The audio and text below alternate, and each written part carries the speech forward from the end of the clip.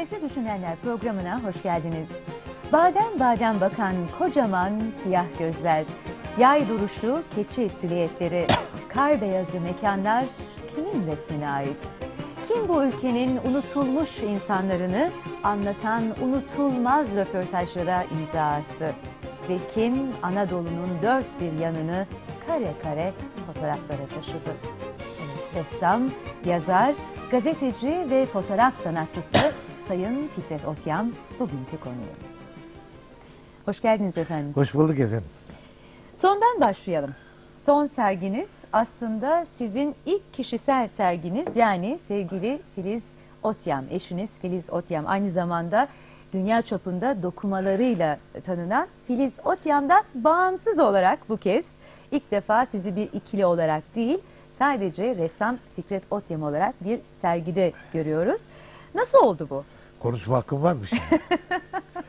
efendim, bizim büyük usta Mazım Hikmet şairimiz ikinci kez Bakü'ye gider. Bakü Darülfünun Üniversitesi'nde 1500 kişilik salonda Büyük Devlet Ticari Komünist Partisi üyeleri bir merhaba derler Nazım'a.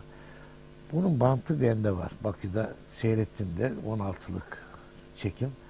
Nazım'ı o kadar övmüşler ki fukara cevabi konuşmasını diyor ki yoldaşlar hiç kimseyi yüzüne karşı övmeyiniz. Övene değil, övülene zordur. Sen bugün beni zor durumda bıraktın ama yine de teşekkür ederim. İki, Estağfurullah. O satırların hepsi haliyle çok çok hak edilen sarımsakla satırlar. ayrılığı tartmışlar. 50 dirhem fazla gelmiş ayrılık.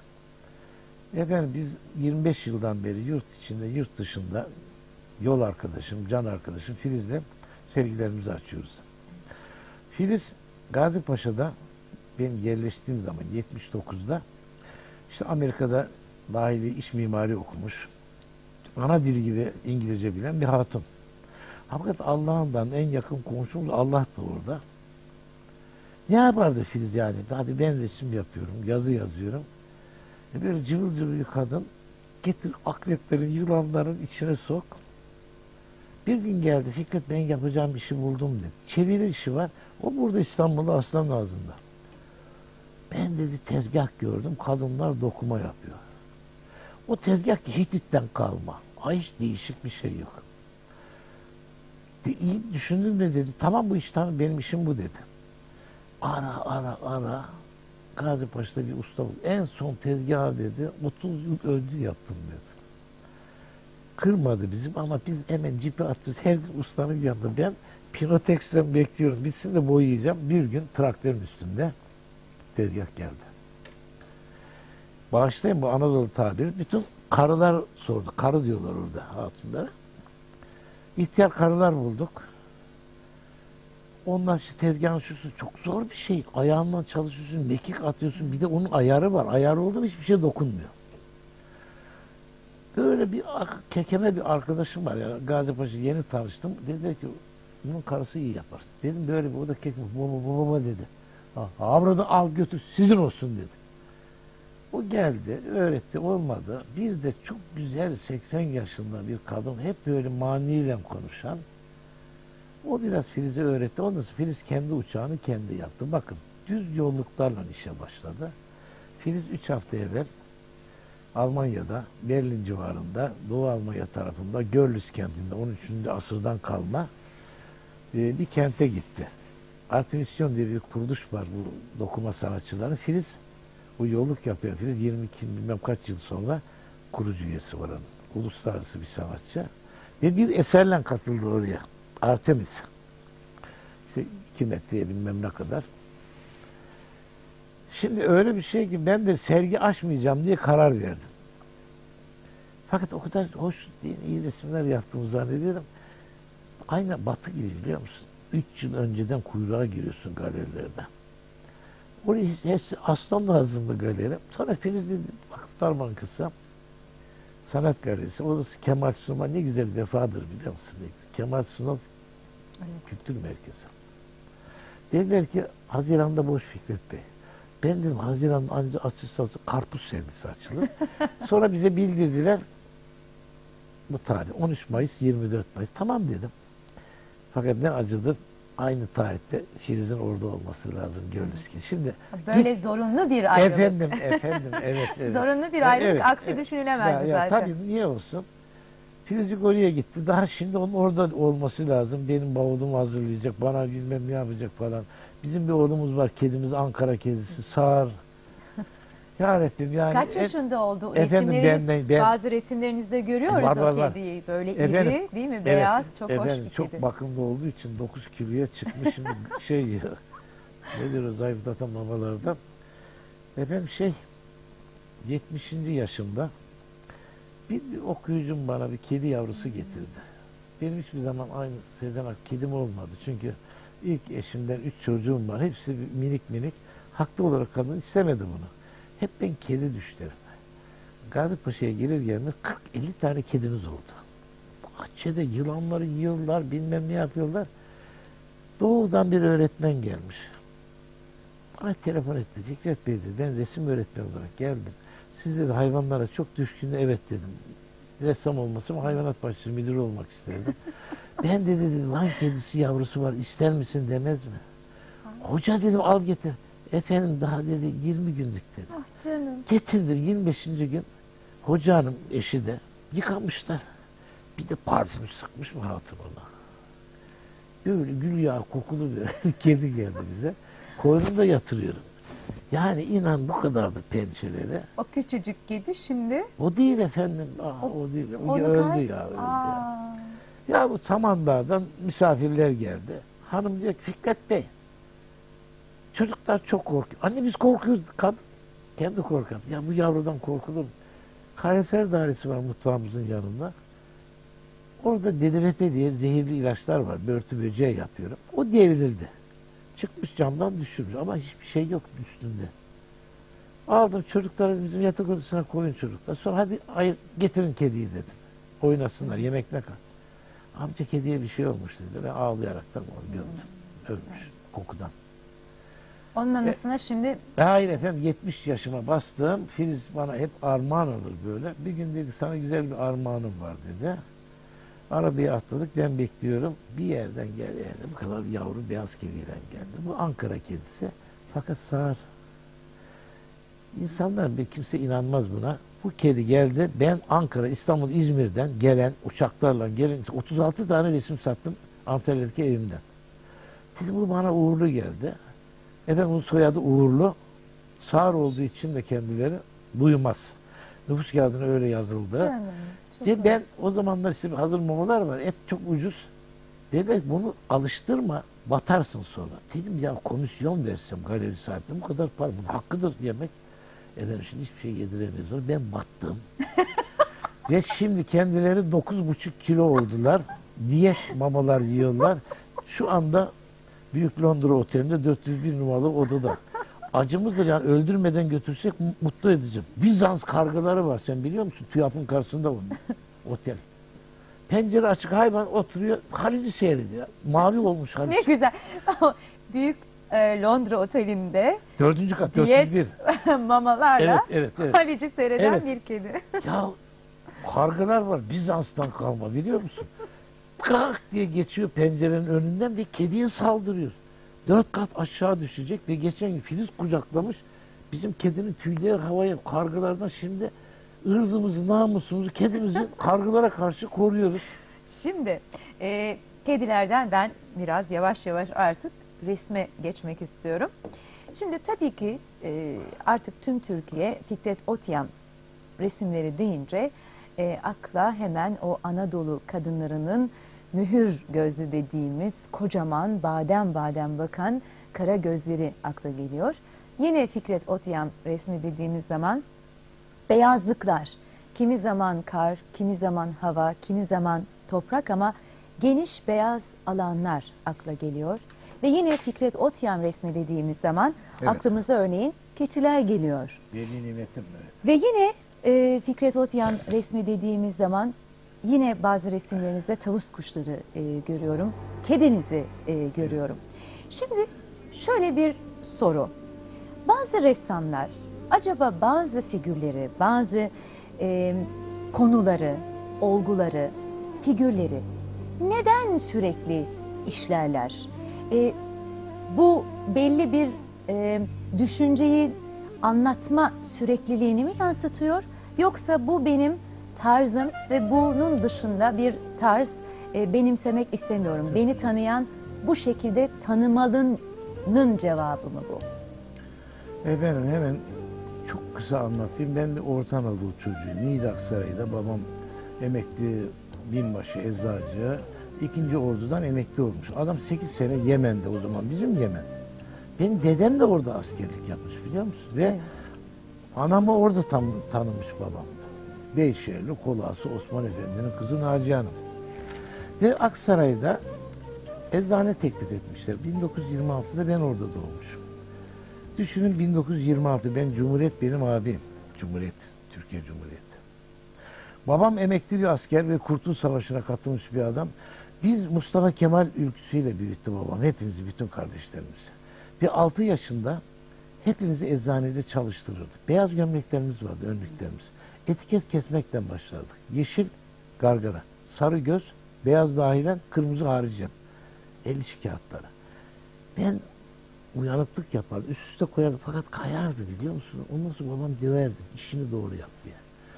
Ben o halkla büyüdüm. İkinci Dünya Savaşı geldi. Para yok. Bit, travm, uyuz, tüberküloz, frengi aldı aldı yürüdü. Hele uyuz. Şeker yiyemiyor halk.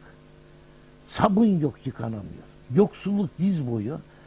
Ben bu ortamda eczanede o ç- insanlarla beraber büyüdüm. Sıtma Allah Allah hey gidiyor insanlar ölüyor. İnan kara borsaya düştü Atebrin plazmokinin. Babam dedi ki bunun sonu yok. Hükümet doktoru biliyorsun uyuşturucu ilaçlar ayrı bir statüye tabi. Aynen o ilaçları babam öyle verirdi. Ben sıtmalıyım, karnım şiş, yüzüm sapsarı. Atevrin plazmokin çok kuvvetli bir Bayer ilacıydı. Şimdi yok reklamını yapabilirim. Şimdi yok o. Bana da ilacı reçeteyle verirdi. Bir gün bir kadın geldi. Ezbacı Bey bana iki tane etebrin verdi. Babam dedi kadın 15 tane içeceksin bunu. 15 de plazmokin. Sen hele ver ver. Kadın tarlaya giderken buraya bağlamış yeminisini. Ondan sonra Pınar'da bir yıkamış, sarı yıkanmış. Boya. Şimdi halk sıtmadan, ilaçsızlıktan ölürken kadın gelip boyayacak yemenisini. Ve o sırada babam bir, çok dil bilirdi. Berlin Radyosu'nda ve Londra Radyosu'nda haberleri dinledi İkinci Dünya Savaşı. Bayer Leverkusen fabrikaları İngiliz Kraliyet Hava Kuvvetleri bugün de bombalamıştır. Düşün emekli bir binbaşı ömrü savaşlarda hüngür hüngür ağlıyordu. Niye biliyor musun? Halka ilaç gelmeyecek Bayer fabrikada. Evet. O ağlayınca anam da ağlardı. Anam da ağlardı biz de ağlardık. Şimdi e, aslında babanızın 6 yaşından beri e, eczacı olan babanızın e, yanında çalıştığınızı e, biliyorum. E, daha önce Portreler programında da bunu Evet, ağırlıklı olarak evet, evet. işlemiştik ve o zaman da demiştiniz ki o halkın yaşadığı acıları ben o küçük yaşlarda Yüreğime gördüm. kazıdım. Yüreğime yaşadım. kazıdım. E, ve o anlamda da işte o Anadolu kadınını sizin resimlerinizde görüyoruz. Onun bir yansıması olarak düşünüyorum ben. E, zira Anadolu'yu işte bizzat acılarıyla birebir gözlemlemiş, tecrübe etmiş bir ressam olarak. Ama tabii ki resimlerinizdeki temaların e, tekrar edilmesi sonrasında şu soru akla geliyor. Acaba e, neden farklı şeyler, farklı konular, farklı olgular yok Hı, çok bazı çok ressamlarda ama hep aynı temalar ve aynı figürlerle işleniyor. Çok teşekkür ederim bunu sorduğun için. Hemen ekleme yapayım. Yıllar sonra eşim Filiz'den Özgün Dokuma Filiz Otyam, Resim Fikir Otyam, Leverkusen'de bir sergi açtık. Bütün devlet ticari gelmiş, eyalet büyükleri. Ben acı acı bunu anlatıyorum. Yanımda da daha ağzımdan laf çıkarken çeviren bir ahbabımın kızı çıktı sonradan. Ya Almanlarda hepsi taş duvar. Ya bir adam diyor ki Anadolu'da diyor fabrika bombardıyor. Ana ağladı, baba ağladı bilmem. Sonradan şimdi o kadın Türk kızının kocası Gert biraz evvel sergideydi. Akşam bizi yemeğe götürdü evlerine. Dedim ya Gert ya bu çok önemli bir şey anlatın mı? Almanlar ne oldu? Ben de anlamadım. Üç gün sonra bana ne getirdi biliyor musun? İkinci Dünya Savaşı'nda 1942'de İngiliz Kraliyet Hava Kuvvetleri'nin Leverkusen, Bayer fabrikalarını bombardımana ait 18-24 saat dakika tarih yazan fotoğraf. Bir tane bomba düşmemiş. Bayer ilaç fabrikaları, köprü, yol, antrepo. O benim bu kitabımda var. Burada göstereceğim sana. İnanır mısın ya babama, ulan baba dedim ya mezarda baba. Ya bizi boşu ağlattın. Anam da ağladı, kardeşlerim, ablalarım. Bir bomba düşmemiş ya. Burada bak sen anlatayım ben sana. Aynı şekilde e, neden olduğunu, bu devamlılığın. Şimdi Anadolu çocuğuyum dedim ben. Ondan sonra ilk defa 1953'te Falif'te Kuratay saygıyla anıyorum. Dünya Gazetesi'nde akademiyi bitirdiğim zaman 53'te yazı işleri müdür yardımcısıydım. Kuzum Otyat Bey dedi bana hep Otyat derdi adam rahmet olsun. Size dedi vapurda bir bilet alın Hopa'ya kadar gidin gelin dedim Falih Bey ben doğuyu bilmiyorum oraya gideceğim. Gittim 1953. Bu bir kara sevda. 53'ten beri ben doğunun sevdalısıyım. Dün birisi diyor ki Fikret dedi. Baktı resimlerine. Sen dedi Edessa'nın ressamısın. Edessa es Urfa'dır. Şimdi ben kendimi röportajda, fotoğrafta, resimde, her şeyde o ezilen, horlanan Doğu Anadolu insanının, kadınının, jandarma zulmü diyelim, efendim kızamık, hastalık, sınırda kaçakçılıktan ölenlerin ben en iyi bunları biliyorum. Güzel. O anlamda En da bu bir bildiğim için inancın en sürekliliği iyi evet aslında. en iyi bildiğimi yıllardır onu yapıyorum ve hiç de pişman değilim. Ve böylelikle ben o halkın o ezilen, horlanan, yok sayılan insanların ressamı oldum. En iyi bildiğim için de en iyi bunu yapıyorum. Başkasına çiçek yapar ve beni ilgilendirmez ama ben oraların ressamıyım. Bulacağım. Sayın Hocam Evet, siz evet. onu ararken Ha. ben diğer sorumla devam edeyim. Ee, daha önce de bu eczacılık yaparken daha doğrusu babanıza yardım ederken o hastaların e, hem bir yandan dertlerini e, dinlediğinizi hem de bir yandan da notlar aldığınızı söylemiştiniz bana. Evet şimdi babam eski mesela ilaç var. Dover ilaçları bilmem ne. Küçük defterler. 18 Mayıs 1942 falan. Babam her gün Nusret'e 20 lira gönderdim. Nedim'den mektup geldi. Bilmem ne ağaya 50 lira borç verdim. Ben de eczanede reçete defterine yazarken inanır mısın mürekkebimizi kendimiz yapardık. Gülüdü metilen alkol. Nasıl güzel bir maviydi o. Ve bizim kalfamız vardı. Nur içinde yasın. Hafız abi. Bembeyaz saçı var. Ben ondan gidip gülüdü metilen ekerdim. Hafız abi kalk yüzünü yıka ilaç geldi. Adam yıkar her tarafı mavi. Böyle şeyler de yapardım. E şimdi babamdan kalma herhalde bu alışkanlık. Geçen gün bir yerde daha söyledim. Ya sonralar ben bunlar öykü yaptım. Son e, Gece Postası gazetesinde. Bunlar yayınlanırdı 45-46'da. Ben para alırdım oradan ve okumama da yardım ederdi. Böylelikle o güzel adam, o Can Dost, Said Faik'ten de bir meyhanede Gece Postası'nda bir yazımı okurken yanındaki arkadaşı bir de anladım köpek. Böyle pörtek gözlü, kır saçlı, kirli pardüsü, böyle polislerden korkardık. Yine de korkarım ya. Ulan dedi bana, anlattığın gibi yazsana dedi. Bunun Sait Faik olduğunu öğrendim. O Ölene Sait kadar. Faik sizi o Evet, anlamda evet, ve o- yazarlığa teşvik onu da onu da oldu. acımdır. Onu da Peki kendi şimdi elimle Yazarlık derken bu e, notlarınızı yedi cilt halinde topladığınız duyumunu aldım ben. Evet. Bunları bir gün yayımlamayı, daha geniş kitlerin okuması için derli toplu bir e, kitap haline dönüştürmeyi planlıyor musunuz? Ben planlamıyorum ama benim yerine planlıyor. Benim kitaplarım 45 tane dinozor oluyor. Genç kuşak bilmiyor. Okumuyor zaten kimse. Televizyon çıkalı. Alınmayın.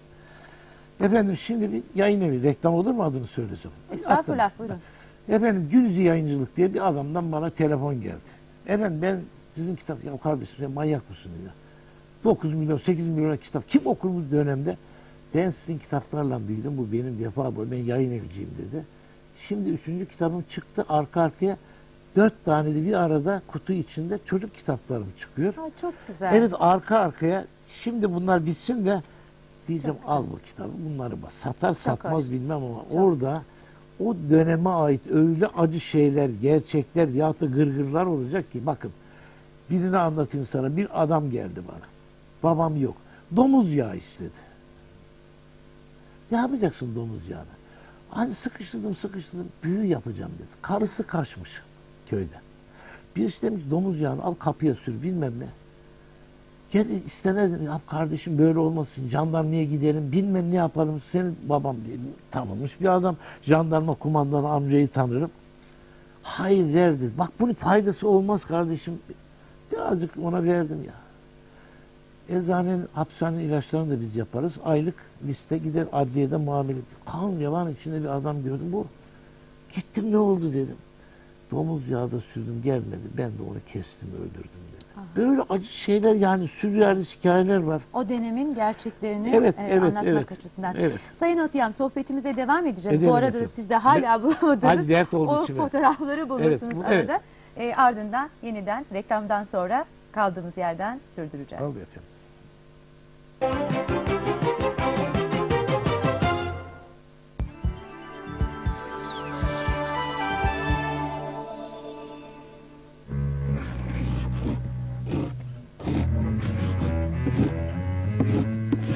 Artık bu kadarı da fazla diyorsanız neden inandığınız değerlere sahip çıkmıyorsunuz?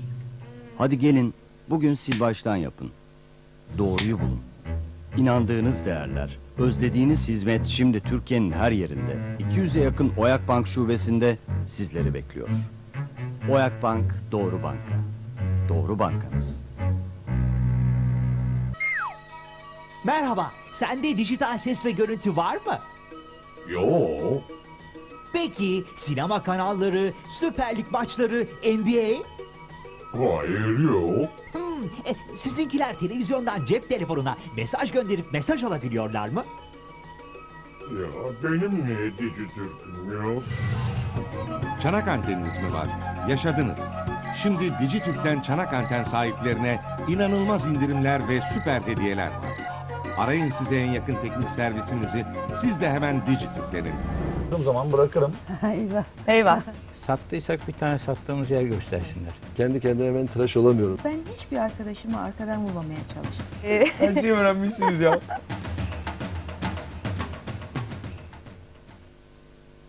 Sesli Düşünenler'de sevgili Fikret Otyam'la sevgili Fikret Otyam'ın o keyifli sohbetine kaldığımız yerden devam ediyoruz.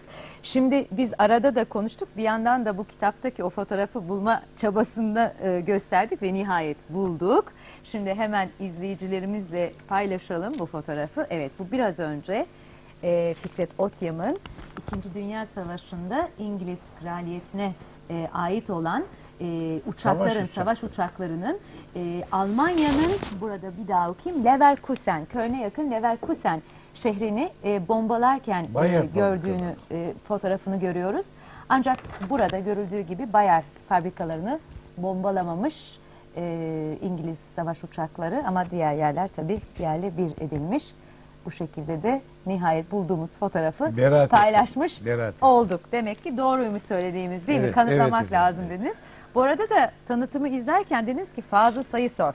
Sorayım. Neden Fazıl Say? Efendim şimdi geçtim biraz evvel buradan Evet. geçti. Şimdi fazla 12-13 yaşında. Ahmet Say benim babası Canciğer dostum. Çok değerli bir arkadaştır. Ve hayatın en güzel yazısını o yazmıştır benim için. Fazıl da küçük işte 11-12 yaşında. Aşık Fezullah Çınar var büyük halk ozanı. Bir gün de Ahmet benim sazı getireceğim. Gittik.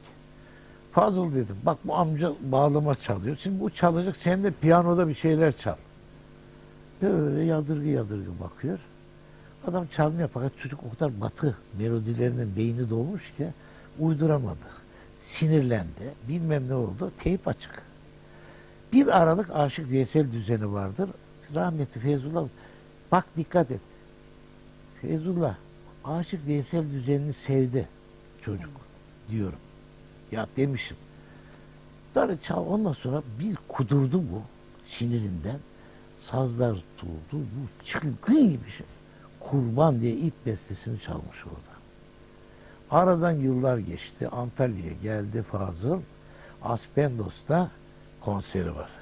Ben o yıllardır sakladığım kaseti çok güzel bir kutunun içinde konserden sonra armağan ettim Fazıl'a.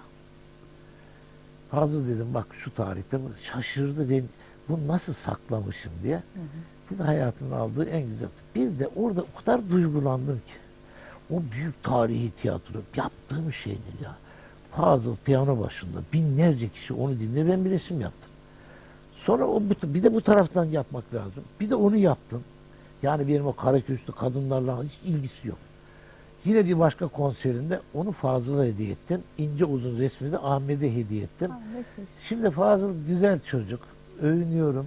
Askerini de bitirdi. Geçen gün telefonla konuştuk. İşte torunumuz oldu, bilmem ne oldu. İnan bu kadar şöhrete rağmen saygısını, kibarlığını, efendiliğini bozmayan az sanatçı. Başkası bu şöhrete sahip olacak. Bu beceriye az bulunur. Yani Bir- sanatçı. Bak ama sanatçı ne yaptı biliyor çünkü musun? sanatçı, Bir eseri var bunun. Dünya görüşü bunu gerektiriyor Evet zaten. bir eseri var bunun. Adı nedir biliyor musun? Aşık Veysel. Evet, evet o bilmez olur muyum? ya, Programda ya, konuştuk. ya, ya, ya. Elbette konuştuk. Biraz önce dediniz ki o kaydı dinlettiğim zaman çok duygulandı ve e, bu nasıl bir biriktirmedir? Bu yıllar öncesine Niye ait bir silmedin şey. diyor yani. Evet. Silinir mi ya? Ben ne E bileyim Şimdi siz saklarım. söz konusu olunca tabii silinmez. Zira sizin biriktirme huyunuz ünlüdür Sayın Otyam. Olmaz olur mu efendim? Cam şişeler, kavanozlar, mektuplar benim hatırlayabildiğim. Hani şeyler var çöp evlerde falan biliyor? Belki de öyle. Ya şimdi mektup yazmışsın sen bana diyelim ki 35 sene önce şimdi sen daha gençsin ya. Diyelim ki 3 yaşındayken bana mektup yazdı. Ben atmam saklarım bunu. Ha, mektuplar neler- saklanır da. Neler ama neler Şişe saklamışım. şişe bir neler, sürü cam Ben şişeler. de saklamışım biliyor musun? 1941 yılında Kayseri Lisesi'ne girdim. Yatılı. Galatasaray'a gidecektik. Orada ofis müdürü var. Ulan bu serseri niye göndersin İstanbul'a Galatasaray? Deyli gönder. Gittim Deyli. Saçlarım böyle yine kıvır kıvır. Müdür dedi git lan saçını kestir geldi. Gittim berbere. Amca saçımı kes. Kaç? Sıfır dedi oradaki amca. Adam kıyamadım. Kafayı yedim arkadan. Kırt kırt kırt kırt kırt. Bütün o saçlarım. Bir de bir yantini kendimiz yapardık. Gliserin, limon, biraz da esans içinde saçımızı sürmeye. Ben defterimin arasına bir tane sokmuşum şu kıvırcıklarımdan. 41'den beri o sakları defter, hatıra defterimin arasında biliyor musun? Saklanmaz mı bu ya? Çok hoş, çok Ya. hoş. Şimdi bir başka konuyla aslında çok önemli bir konu bu ve sizin yıllarca e, hem gidip bizzat oradaki halkın e, dertlerini dinleyip gerek resim, gerek fotoğraf, gerek röportajlarınız e, olarak yansıttığınız e, genelde Güneydoğu Anadolu diyebileceğimiz, özelde de GAP diyebileceğimiz konuya değinmek istiyorum. Şimdi geçenlerde son bir haber, e, düşündürücü bir gelişme oldu. Tahmin ediyorum siz de takip ettiniz. Yıllar boyunca hep o yöreye su getirme mücadelesini verdi Türkiye. Ve e, GAP gibi dünya çapında bir projeye imza attı. Ama gelin görün ki o suyun yanlış kullanımı sonucunda tam aksi bir şey oldu. Oraları sulanacak, o bölge berekete kavuşacak derken yanlış sulama sonucu o bölgede toprak kurudu. Tuzlandı. Kaç dakikamız var efendim?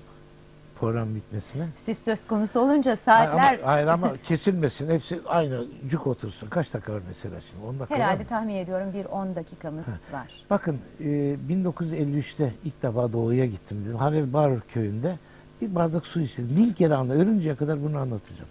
Bir telaş sardı ortalığı. Bana kupadı. Peşkirden inanın evimdeki ne kedi o tarihteki kurt köpeklerim içmez. Şöyle döktüm. Eli çıktı arkadan baktı. Fırat aşağıda gürül gürül akıyor. Müthiş acı çektim ondan.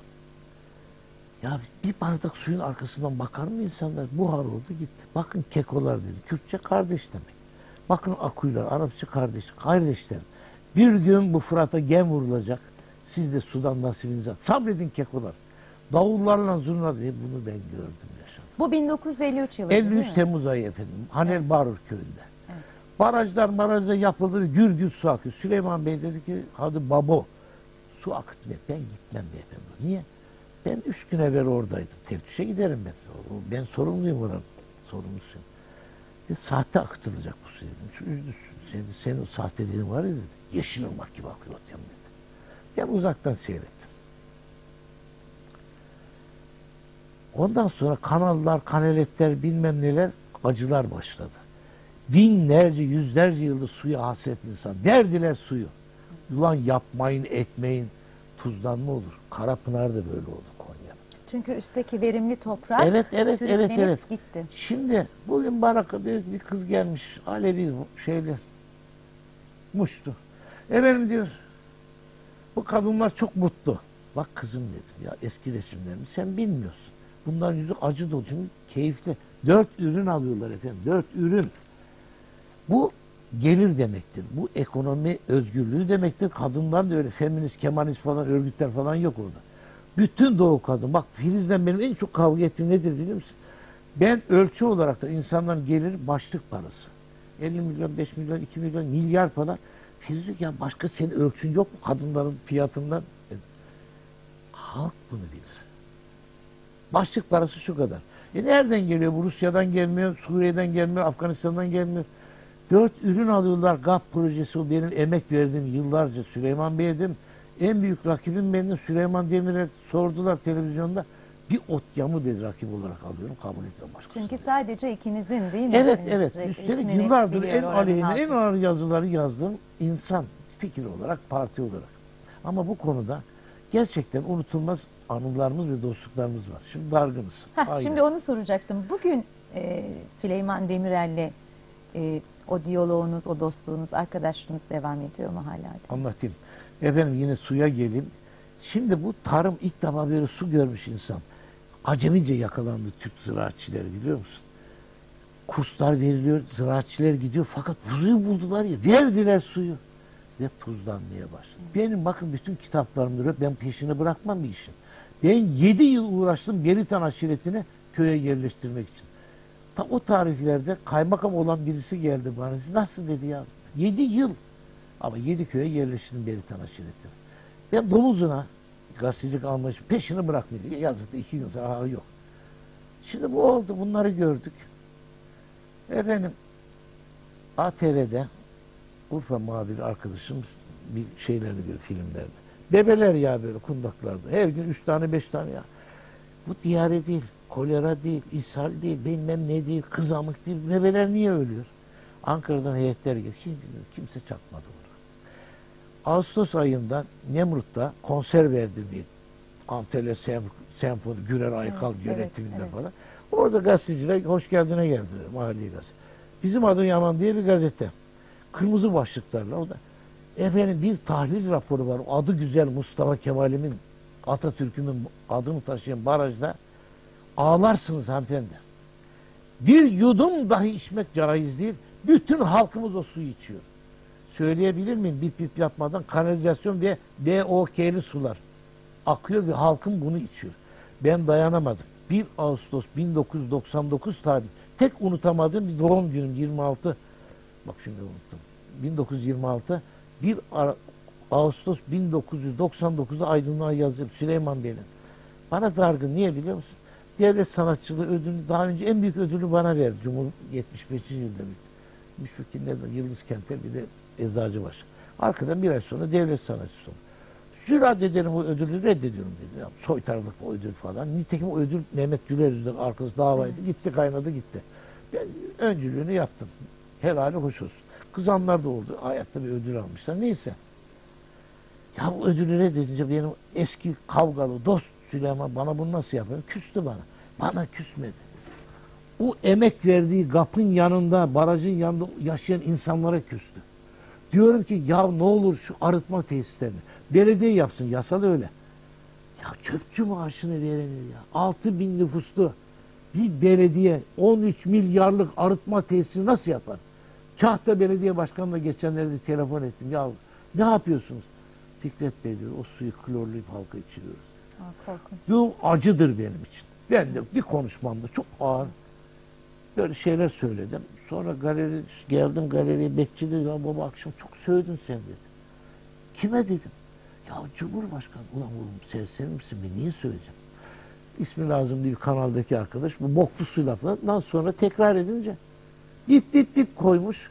Herkes zannetmiş ki ben küfür ediyorum. evet. Bu da gazete televizyonluk falan değil. Ama sizin şimdi bir başka konuşmanıza daha değineceğim. Ee, işte yöreye ilk gidişiniz ve o e, acıları görüşünüz, o haya- o hayatı içindeki o yörenin e, problemlerine şahit olmanız ve ardından yıllar boyunca bunları dile getirmeniz demin söylediğimiz gibi 1953 yılına denk geliyor. Temmuz ayı. Şimdi şöyle bir sözünüz var bir yerde diyorsunuz ki dün gelecek ne benim çektiğim fotoğrafları çekebilecek ne yaptığım röportajları yazabilecek ne de benim yaptığım tabloları yapabilecekler.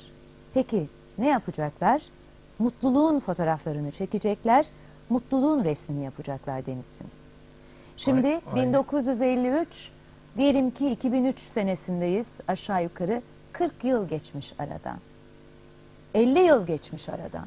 Pardon, Bu 50 umudu- yıl geçmiş Bu aradan. umudu hiç yitirmedim. Hiç yitirmedim. Zaten bak ben sana bir şey söyleyeyim. Bireyde, toplumda umutsuzluğa geldi mi o gitsin o ülke batar.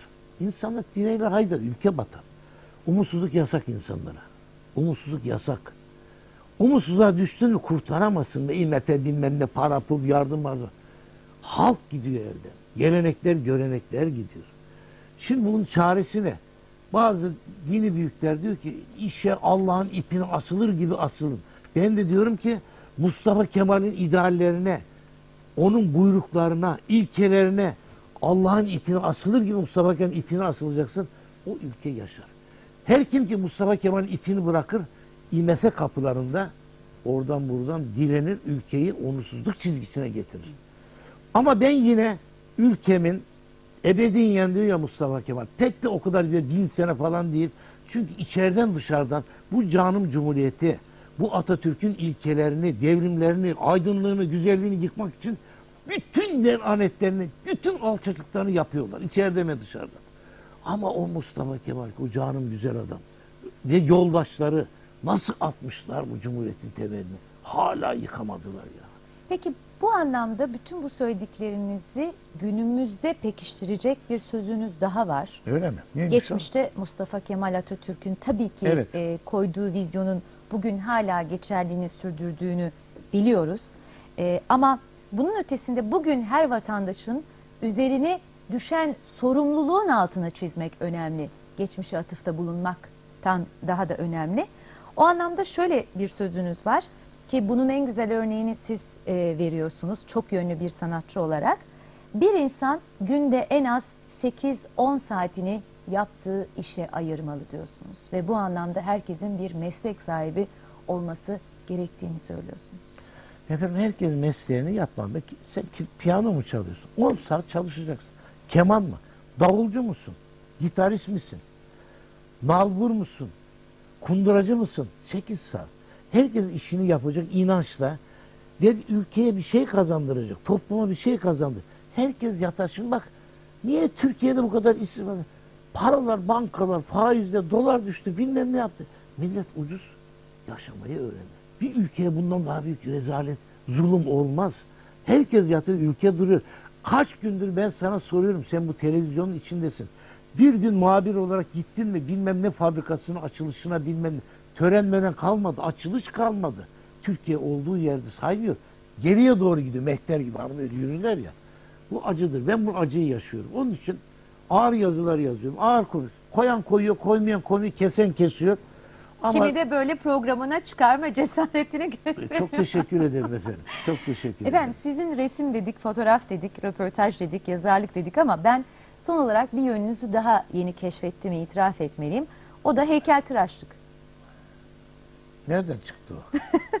Bakın şimdi hemen burada izleyicilerimize hem şöyle kitabın girişini Fikret Otyan kitabının e, gayet kalın e, ve de çok hoş bir Fikret Otyan ayıptır söylemesi. resmiyle Üç kilo 250 gram. süslenmiş. 3 kilo 250 250 gram. gram. Efendim bu tabii ki kitabı büyük bir keyifle ve resimlerini de yine büyük bir e, keyifle e, seyrettim, takip ettim. Bakın burada Otyam'ın heykelleri diyor. Hemen burada izleyicilerimiz de biliyorsunuz. Bunu gösterdiğim zaman ispat. Afaki söz yok. Ama yine benim kadınlar. Evet. Ya Urfa'nın bir köyündenim. E, gittim arkadaşım babası ölmüş. Mustafa Kemal'in silah arkadaşı. Adam Suudi Arabistan'dan gelip aşiretten yardım etmişler. Ermenilerden boşalan köyü de Bakanlar Kurulu kararıyla bu Acemi Paşa deniyor buna. Onun Şurada biraz daha var. Bunları da paylaşmak istiyorum. Evet ben bu yönünüzü inanın itiraf ediyorum yeni keşfettim. Sizin röportajlarınızı bir gazeteci olarak keyifle okudum. Resimlerinize zaten büyük bir hayranlığım var. Ee, ama heykeltıraş e, tarafınızı e, yeni keşfettiğimi itiraf etmeliyim. Bunlar bu kimse- kitap sayesinde onu da öğrenmiş oldum Efendim, ve bu şekilde Urfa'da bir taş paylaştım. çıkar biliyor musun? Beyaz taş. Suya koyarsın onu. Alırsın çakı bıçağından. Helva vardı ya bizim beyaz helva, tayin helva onun gibi ama kuruduktan sonra mermerden beter olur. Ben o zaman da bu taştan heykeller yapmaya başladım ama evin içinde. Acıdır. Bunu Mehmet Kemal saygıyla benim arkadaşım, bir rakı arkadaşım, komşu arkadaşım. İlla bana ver. Ulan Mehmet Kemal hayatta bir de heykel yonttum ya. İlla bana ver. Bir gün evine gittim. Nerede biliyor musun heykel? Balkon kapısı rüzgardan açılması taş diye oraya koymuş. Son olarak e, portreler programına geldiğinizde e, bir resimden bahsetmiştiniz. Yapmayı planladığınız, düşlediğiniz bir resim. Hangi resim olduğunu hatırlıyor musunuz? Hatırlamaz olur muyum efendim? Bakın 76 yaşına geldim. Vakit daraldı. Çözemediğim bir şey vardı. Bu televizyonlarda konuşulmaz o. Nihayet geçen gün bir arkadaşım dedi ki hatta İşçi Partisi Genel Başkanı Doğu Perinçek. Abi ne olur bu resmi yap dedi. Şimdi o güzel insanların hepsi Lenin'den tut Abraham Lincoln'a kadar. Mao'dan tut Mustafa Kemal başta tabii. Hatta Peygamber Efendimiz de öyle diyor. Ben cennetteyim diyor. Yüzü yeşilli. Dünyaya, insanlığa ne kadar hizmet etmiş güzel insanlar varsa ölüm atına binmiş. Orhan Peker, Sait Faik, Adnan Beyli bilmem hepsi benim canlarım, dostlarım. Bu arada da işte manevi oğlum Mahsuni İbn toprağa verildi. Biliyor musun gitmedim onun cenazesine. Çünkü Mahsuni'yi öldürdüler biliyor musun Almanya'da? Resmen öldürdüler. Euro uğruna. Götürdüler konser vermeye. Kalbi tekliyor, beyni gidiyor. Para kazansın diye. O katillere orada bir saygısızlık yapmamak için gitmedi. Burası da geldi söylüyor. Bütün güzel insanlar o tablonun içinde olacak. Üniformalı mı yapayım yoksa kefenler içinde. Kefen düşünün 150-200 kişi. Bembeyaz bir şeyler olacak. Karar verdim. Herkes kendi kıyafetinde. Kuşlar, çiçekler, böcekler, tavus kuşları, zümrüt anka kuşları güzellikler içinde. Bir de şarap akıyor. Ben rakıcıyım. Böbreğime dokunuyor şarap. Ama ne yapalım? Götüreyim bir iki litre Tekirdağ rakısı güzel ama hangi birine getirecek? Onun için ben dedim ben Kevser şarabına razıyım. Tam derecesini merak ediyorum. Kaç derece? Böyle akıyor. Hatunlar, bilmem neler. Bu resmi yapacağım onu biliyor musun? Yani Ve bu resmin ismi de Cennetin resmi olacak Evet. idi benim hatırladığım Evet. kadarıyla. dünyada insanlığa ne kadar hizmet etmiş er kişi hatun kişi varsa hepsi orada olacak. Tabii ben de orada olacağım. Ben de halkıma yardım ettim. Sayın Otyan çok teşekkür ediyorum programa katıldığınız ve gerçek anlamda samimiyetle düşüncelerinizi ve duygularınızı Sağ olun. Ben de çok mutluyum. Niye biliyor için. musun? Şu koltuktan düşmedim. Nasıl rahatsız bir şey. Çok sağ olun. Sağ olun efendim çok teşekkürler. Son olarak bildiğiniz gibi böyle Evet. bir defterimiz var. Koltuğumuz belki pek rahat değildi ama dilerim programımız rahat geçti. Evet geçti de yani ödüm kopuyor. Herkesin önünde pat diye düşmüş bir adam. Buyurun efendim.